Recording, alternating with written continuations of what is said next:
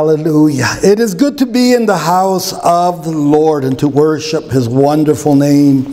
He is worthy of all honor, he is worthy of all praise. And you can bring up the lights. Thank you so much.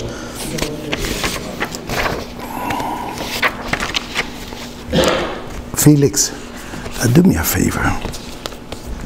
Keep one for yourself and give one to Adrian. Praise the Lord, praise the Lord. It is so good to be in the house of the Lord. and It is so good to see you this morning here as well. This morning, I want you to turn to the book of uh, 1 Peter, chapter 4, and uh, we're going to be reading beginning with verse 12. 1 Peter, chapter 4, beginning with verse 12. If you'll have your Bible ready at that scripture. Thank you, Pastor Barajas, for helping me out with an interpretation. I really uh, appreciate that, brother. Amen. Pastor Barajas brought a powerful message. Uh, we posted it a little late, but we posted it. It is up uh, now. And uh, hopefully the next ones will not be as late coming as that one was. Praise God. We're working on different little technical problems with our online producers, but we're slowly going to get them worked out little by little. Amen. If I could put a title on my message this morning, I'd like to call it The Cost of Conviction. The Cost of Convictions. And if you don't know what a conviction is, a conviction is. Uh, a, a, strongly held belief. And it's very important that I make that distinction a strongly, not just a belief, but a strongly held belief that is part of your core. I mean, what you will stake your life on, something that you believe down to the bottom of your soul. You can't deny it. A conviction usually is what forms the way we look at life and the way our behavior, because it is formed by what is. Uh, a, a, truth in our life that we believe with all our heart. But there is a cost to true convictions, and I'm going to be sharing what that cost is because in the, in the Christian walk, a lot is mentioned about faith. And uh, usually, when we talk about faith, we talk about things that are not seen, but things that are believed. But there, it's not a blind faith. It's not just a leap in the dark that you just believe. You don't even understand. You don't even know what what you believe or how to put it into words, but you just believe it. and you hope that it's true. that uh, there's a lot of people that have that kind of blind faith. They don't understand, but somebody told them, or they were brought up a certain way and they believe it, even though they don't understand it.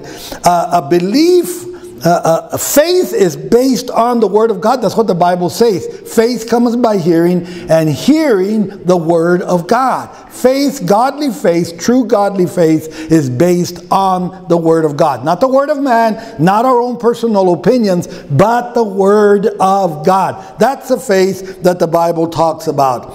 And uh, when you have that strongly held belief that you will not be convinced, otherwise you be, you know what you believe. You don't have to understand it all, but you understand it basically enough where you could say, "This is what I believe, and I will not move from this belief." Sometimes it'll not come cheaply to hold on to that belief. Sometimes there will be a price to pay. Uh, I mentioned the Voice of the Martyrs magazine and people that suffer across the world for their faith. And we are beginning to see some kind of, of persecution and suffering, very light compared to other uh, places in the world, but we're beginning to see it in the United States of America. That is shocking to a lot of people. It's, I never thought I'd see the day. It seems like it just started happening very quickly because when I grew up, and I'm 66 years old, I still remember in the fourth grade, I can even tell you the name of the teacher, Miss Jacobson. The school was Eloy uh, West Elementary School. And you know how we started the morning? We started the morning in the fourth grade with prayer. The teacher would say, let's stand, and students were going to say the Lord's Prayer. If you don't want to say it, you don't have to say it, just just stand there, you know. And, but uh, the rest of us, we would close our eyes and we would actually say the pledge of uh, uh, the allegiance, and then we'd say the Lord's Prayer. And, and this, this is in the 60s not in the not in the 20s in the 60s and uh, and and think about someone trying to do that today. Oh my what a commotion it would cause. It would just drive people crazy if they try to do that uh, today. Hopefully we can get that working sister. Uh, you got it working? If not maybe one of the techs can help her get her translator equipment working. Praise the lord and that's what I'm going to talk about. 1 Peter chapter 4 verse 12. Let's go there right now. And this is what it says. This is Peter. Beloved, do not be surprised in um, at the fiery ordeal among you which comes upon you.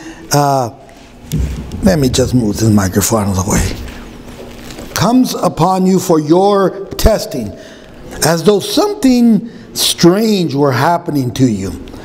But to the degree that you share the sufferings of Christ, keep on rejoicing, so that also at the revelation of his glory you may rejoice with exaltation. If you are reviled for the name of Christ, you are blessed because the Spirit of glory and of God rest on you. Make sure that none of you suffer as a murderer or thief or evildoer or troublesome meddler. But if anyone suffers as a Christian, very important, he is not to be ashamed, but to glorify God in this name. For it is time for judgment to begin with the house hold of God, and if it begins with us, what will be the outcome for those who do not obey the gospel of God? As it is written, with difficulty that the righteous is uh, saved. What will be the what will become of the godless man and the sinner? Therefore, those who suffer according to the will of God shall entrust their souls to a faithful Creator in doing what is right.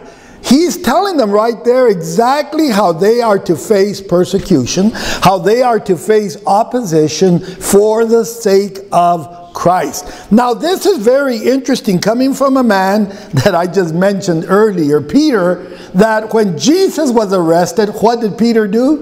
He jumped up and he started fighting and swinging the sword and cut off the ear of the high priest servant. And that's the way he thought he could defend Jesus and, and do something for God by, by fighting back. And now he's talking very differently. He's talking about not being surprised when you have difficulties, being ready for it. And and I will share toward the end some other things that he says about what our attitude should be. But the part I want to zero in that he says, uh, do not be surprised at the fiery, fiery ordeal among you as if something strange, some strange thing was happening to you. Don't look at it as, wow, where did this come from? This is so weird. I'm trying to serve the Lord, and now all this is happening, all this opposition, and all these problems. Pastor Barajas was mentioning this earlier in our time of prayer, and I'm going to say it again. Our country and our world is going through a huge societal, political, and spiritual change. It seems that many things that we took for granted are now being challenged. Like I said, I remember when we started prayer in school. We started the school day with prayer. I remember when ministers were respected, when Christians, when things were asked of, of them that violated their faith, even the government said, respect that because we don't want them to violate their conscience. And they respected that. Uh, your beliefs. When it came to God, there was a certain line that that people wouldn't cross. There was that respect. I remember hearing a, a, a, person tell me once, we were real bad thieves. We broke into houses. We didn't care what house we broke into. And we were driving around checking some houses we were going to break into. And then we drove by a church. And, and one of the boys said, Hey, why don't we hit that up? And the other three said, Are you dumb? Are you stupid? That's a house of God. We'll never break into that. God will see us and strike us dead. And they didn't. Can you imagine that people had that kind of, of, of, of thoughts about God? But now all that is being challenged. It's beginning to cost to stand for or believe in something that people do not like. We can easily nowadays be labeled as phobic this and phobic that. You're, you're a homophobic, you're a transphobic, uh, and on and on they go with, with uh, that, you're, that you're scared of something that you don't understand. And they use that, that label to mock you and to put you down as a believer and to misinterpret uh, what you stand for. The word racist is thrown around quite a bit in our days. If you disagree with someone and they're a different color, you're a racist. And, and, and I remember when people would get mad at others, I'd hear them on the, on the political argument, they're racist. And, and, and that word is just used, and I sometimes wonder if people even know what a racist is. They just throw it out there. Or you're an extremist. You're an obstacle or an enemy to progress and change.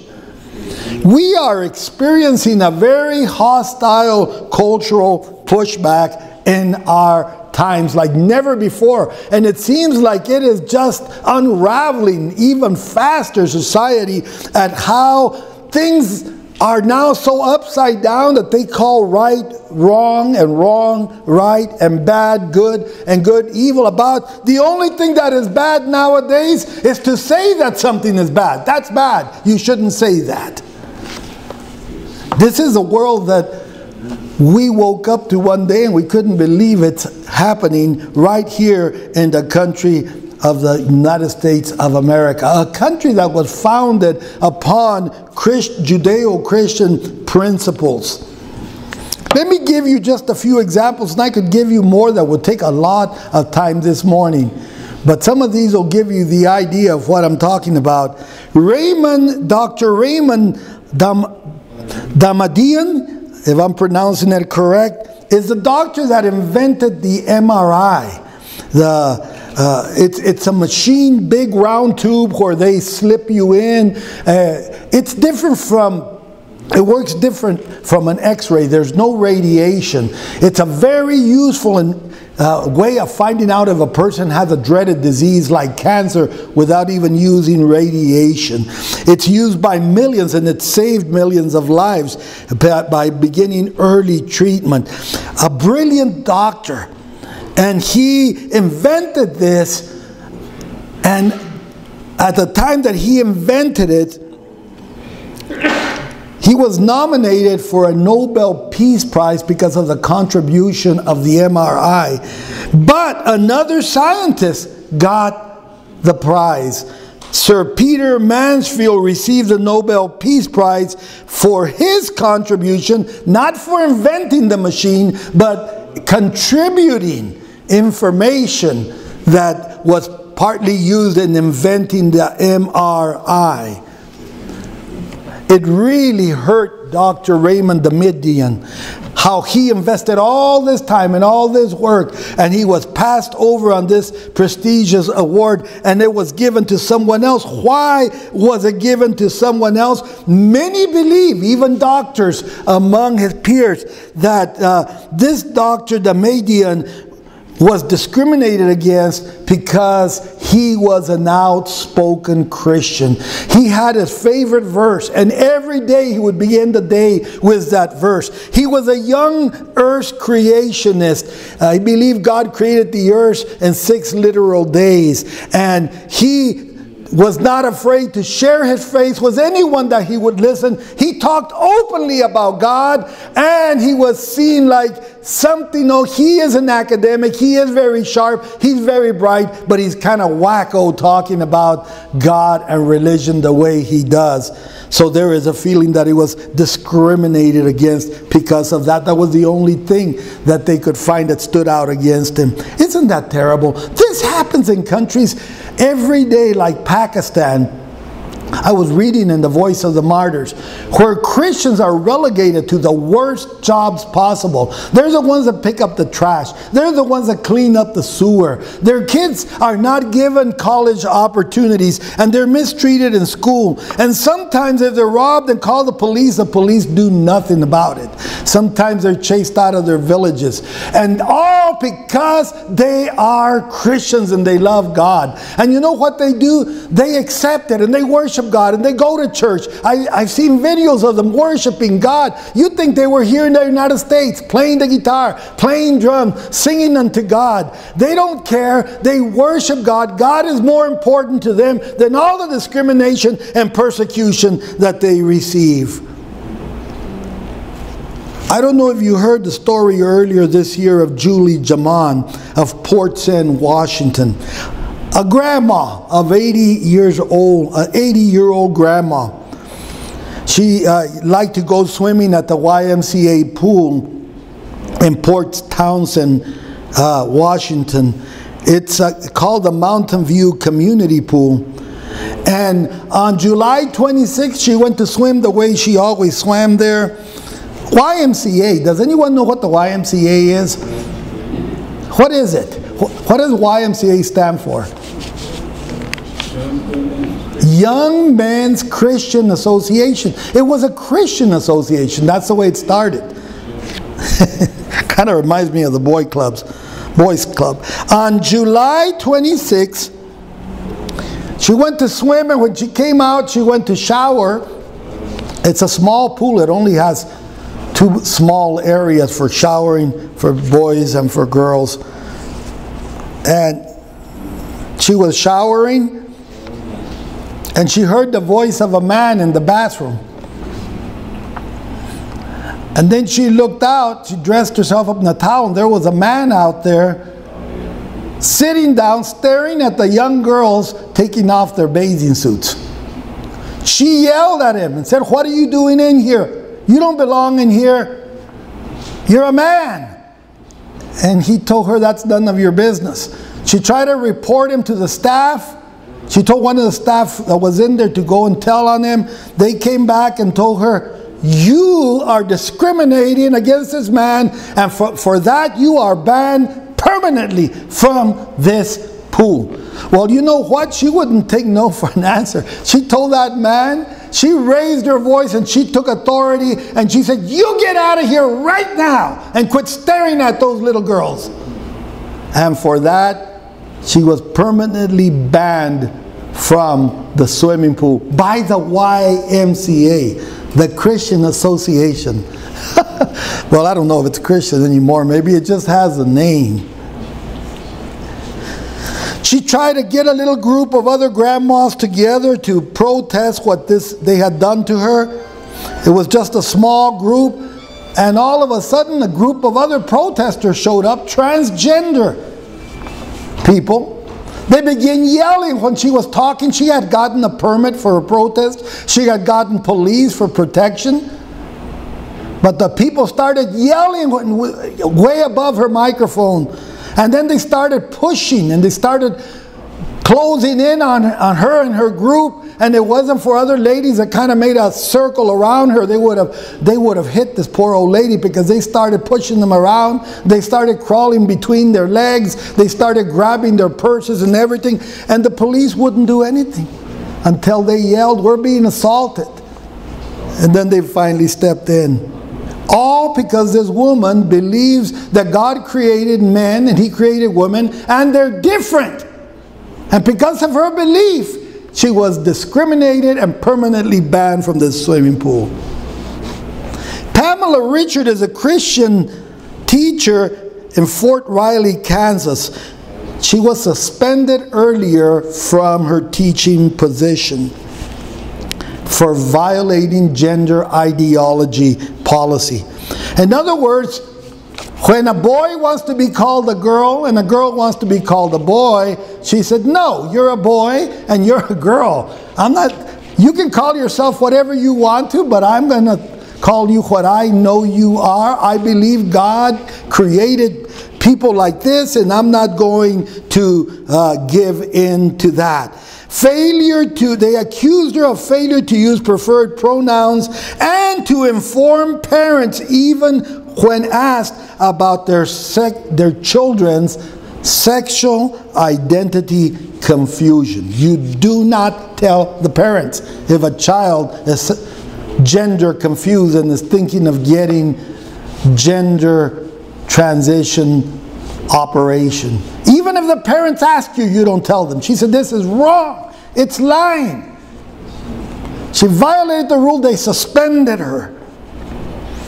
She said, These are, you're asking me to violate what I believe and I'm not going to do it. Remember what I said? The time is coming that we are going to be challenged for our convictions. No longer respect for what your, your religious beliefs are. No longer respect if you, it means violating your conscience to do what they tell you. You have to do it. I know it sounds like I'm going political, but I'm not because this involves our conscience as Christians, as believers. Extremist. The press secretary for President Biden was asked, What is an extremist? You keep calling people extremists. And you know what she said? She said, An extremist is someone that has a, an opinion that is not popular. Someone that doesn't go with 90% of the people, what the people believe. They believe differently, and therefore those people are dangerous and they're a problem for society. They're extremists.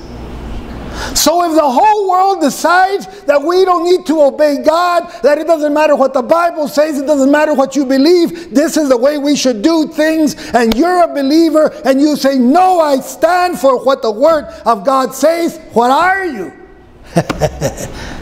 you extremist.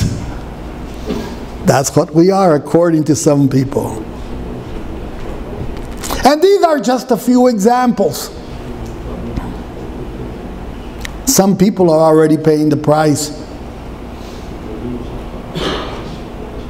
How long before it happens to us? Our convictions and our practices should be biblical. We must decide if we truly believe them and then commit to them whatever it may cost us. What do you believe? Do you really believe it? And are you ready to stand for it even if you're criticized and persecuted and punished? As Christians, we've had it easy. We've lived in a country that has respected, up to now, most of our religious freedom, but that's beginning to change. Look at what the Bible says. We're going to look at a few very important scriptures, and then we're going to come back if you want to put something there as a marker on First Peter, because we're going to come back to First Peter chapter 4. I don't care what the world says. Look at what the Bible says. Psalm chapter 1, verse 1 through 4. How blessed is the man who does not walk in the counsel of the wicked.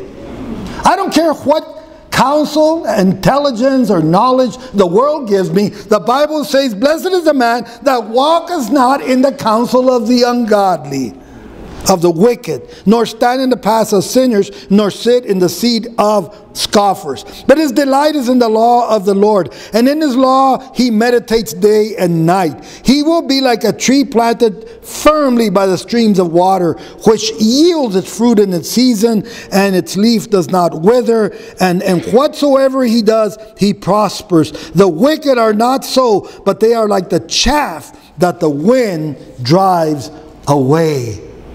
Wow. Those that walk and delight in the law of the Lord. Matthew chapter 7, verse 24. Jesus is speaking about two kinds of people those that hear what he says and say, Oh, well, I love Jesus. Jesus is a good man. Jesus had many good things to say, but that's all they do. They don't apply what Jesus taught. Therefore, everyone, this is Matthew 7 24, who hears these words of mine and acts on them, uh, may be compared to a wise man who built his house on the rock. And the rain fell, and the floods came, and the winds blew and slammed against that house. And yet it did not fall, for it had been founded on the rock. Everyone who hears these words of mine and does not act on them will be like a foolish man who built his house on the sand. And the rain fell, and the floods came, and the winds blew and slammed against that house, and it fell, and great was its fall. Why? Because it wasn't on the foundation, it wasn't on solid ground. And that's what Jesus said My words are solid ground, they're a solid foundation. Winds will come, storms will come, but you will still be standing if you put all your faith upon the words of Jesus Christ and you decide, I'm going to live by them. I'm going to live by them. They're going to be my manual for life. James chapter 1, verse 22. All the way to verse 25. But prove yourself doers of the word, and not merely hearers who delude themselves. He says, don't just listen to the word of God and think that's enough and fool yourself saying, hey, I'm hearing the radio, I'm hearing preaching in church, I'm reading preaching on different articles, and I even read the Bible. That's all great, but that's only the first part. He's saying, uh, prove yourself doers of the word and not merely hearers who delude themselves.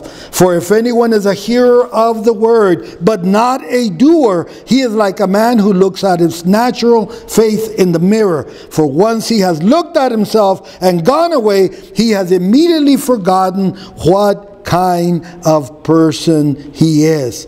But one who looks intently at the perfect law, uh, the law of liberty, and abides by it, and having become uh, a forgetful hearer, not having become a forgetful hearer, but an effectual doer, this man will be blessed by what he does. It's not in hearing the word of God. Hearing the word of God is good. We say that it's like getting spiritual food, but you've got to get it inside of you. And hearing the word of God and not obeying it is like sitting to eat a delicious meal and just looking at it and just smelling it maybe even taking pictures of it and sending it to your friends, but never eating it.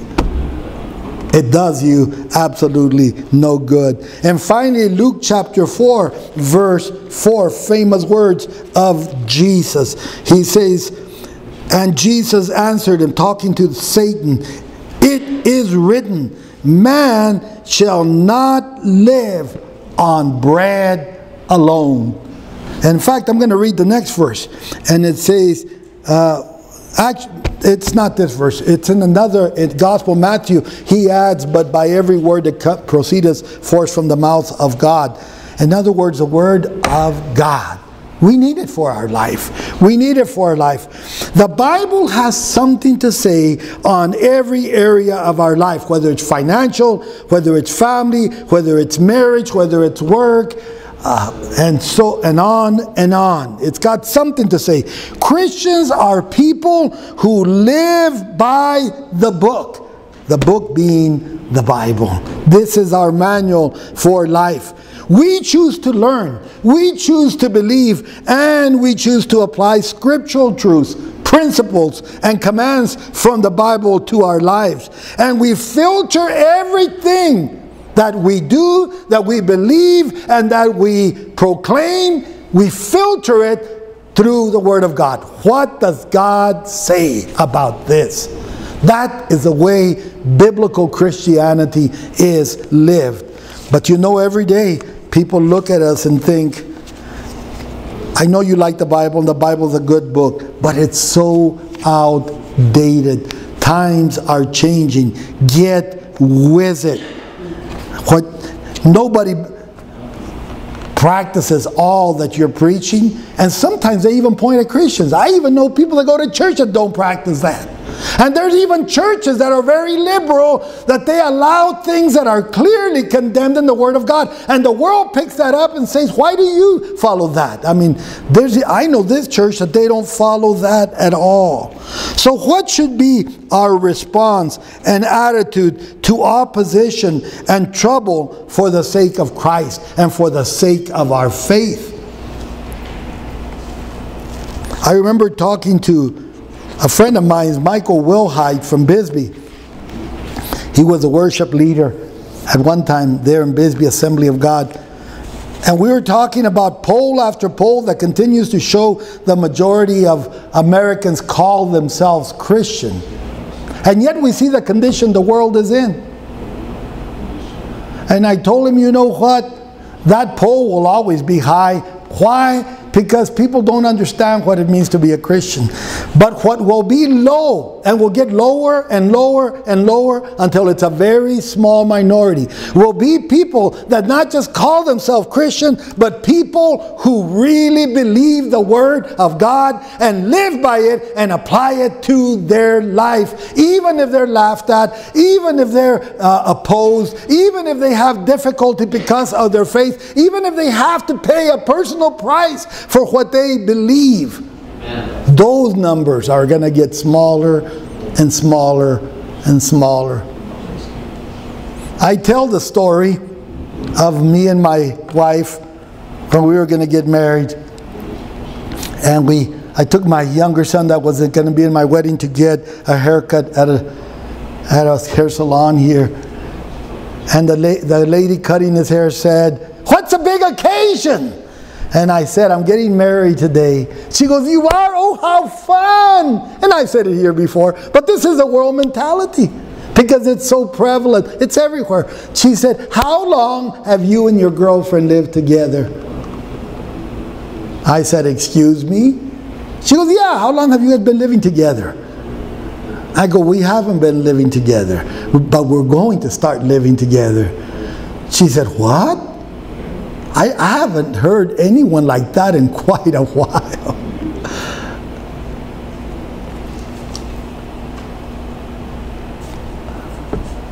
strange. When did it become strange and weird to follow the Word of God? 20, the year 2000, maybe earlier, things begin to change. And I'm going to tell you, things are going to get harder. And the devil is going to come and he's going to tell you, you can, don't take it so serious. Look, you've got to adapt this to the world that you live in. You know what happens when we do that? We give a little here, we give a little there, and we keep giving a little here, and we keep giving a little there until pretty soon there's nothing left to give. We start down the slippery slope And then we start to doubt the Word of God. We say, Look at the world, God. I stand out like a sore thumb. Maybe this, can, maybe this needs to be reinterpreted. I want to tell you, the time is going to come where you might, be, you might really stand alone for your beliefs and people will look at you. You are a prehistoric dinosaur because you believe those crazy things.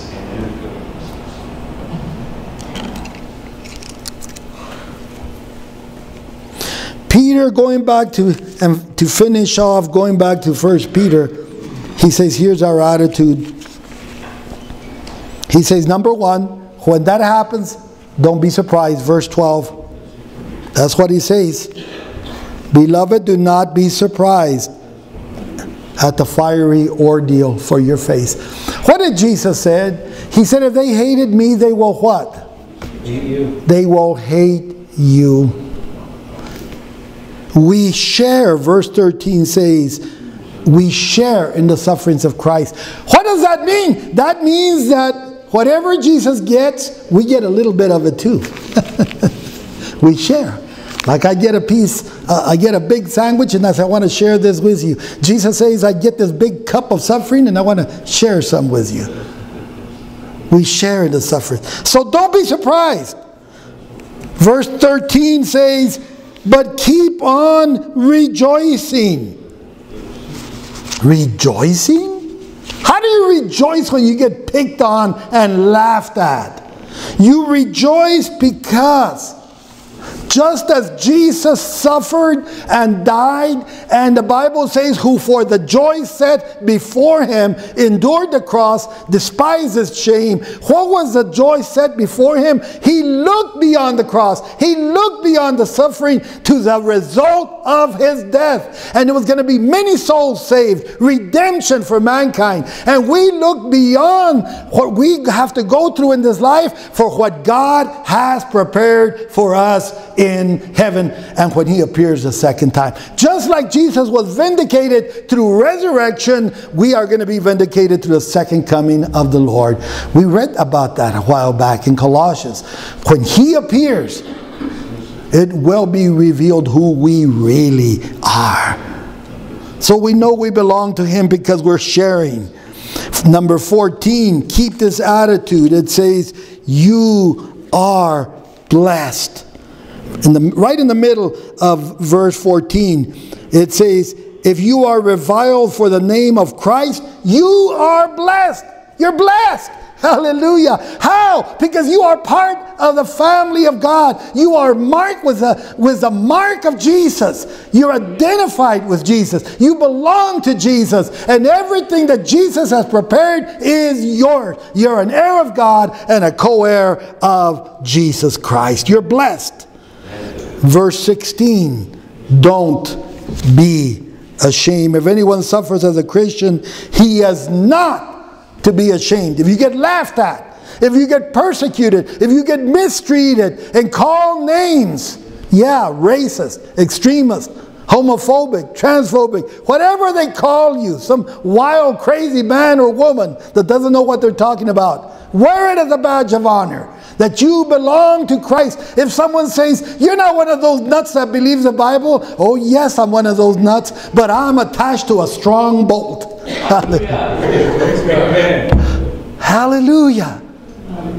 You walk into a room and they're picking on Christians and they're laughing about God, and the Bible was written by a bunch of old men that didn't know what they were talking about. And then you walk in and they look at you, oh, you don't go to that church, do you? Yes, I do. I go, Are you a Christian? Yes, I'm a Christian. One of two things happen. They stop talking or they pile it on more. One of two. Usually they stop. They don't know what else to do because they expect you to start apologizing, but you don't. Amen. I believe in God with all my heart. I, I live my life according to the Bible and I will not be swayed. Don't be ashamed if you're suffering as a righteous person. He says, don't suffer for doing bad things. That you should be ashamed. If they arrested you for speeding, they arrested you for, for taking something that didn't belong to you, yeah, be ashamed of that, but not as a believer. Verse 17 it says, Remember, God is using that opposition and that trouble as a purifier for the church. That's what he says. For it is time for judgment to begin in the household, household of God. God is shaking the church. You know how the church grew in the, in, in the, in the time of the book of Acts? It spread and it grew when persecution hit. It was growing there in Jerusalem, but but it was staying in one place until persecution hit. When persecution hit, everyone scattered, and wherever they went, they went preaching the Word of God, and the Word of God scattered and spread everywhere. And the Bible says that as a result of persecution, not very many people wanted to get involved with Christians unless you were really saved. Why? Because it was going to cost you something. You're going to be an outcast. You're going to be mistreated. Are you sure you want to be a Christian?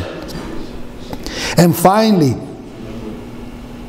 entrust yourself to God's care. Verse 19, therefore, those also who suffer according to the will of God. Isn't that interesting? According to the will of God. It doesn't mean that God is saying up there, okay, I want some people to suffer, so I plan some suffering. No.